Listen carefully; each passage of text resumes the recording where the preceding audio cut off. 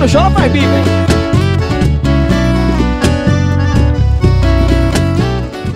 Olá galera, meu nome é Lucas Ducato, sou cantor sertanejo da cidade de Sete Lagoas, Minas Gerais. Estou aqui para falar um pouco da minha história e do meu novo trabalho. O esquecido te esqueceu de vez, até a marca da aliança se apagou. Será?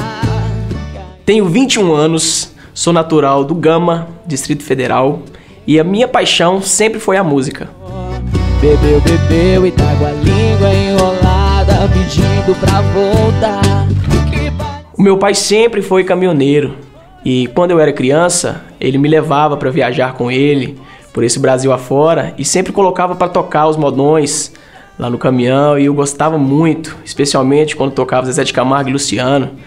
Isso trouxe para mim uma paixão muito grande pelo sertanejo. Há alguns anos atrás, após a perda da minha mãe, tivemos que mudar para Sete Lagoas, onde eu vim morar com meu pai nesse momento difícil para todo mundo.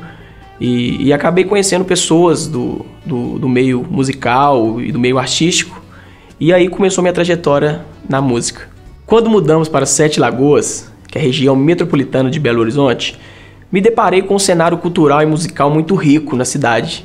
Era sempre bom ir nos barzinhos e ver os cantores, os músicos se apresentando, as bandas se apresentando nos festivais da cidade. Isso enriqueceu muito e me deu uma vontade muito grande de me tornar um artista popular. Vendo todo esse cenário musical no estado de Minas Gerais, eu comecei a tocar, tive duplas, recebi convites para participar de bandas, onde eu aceitei e aprendi muito.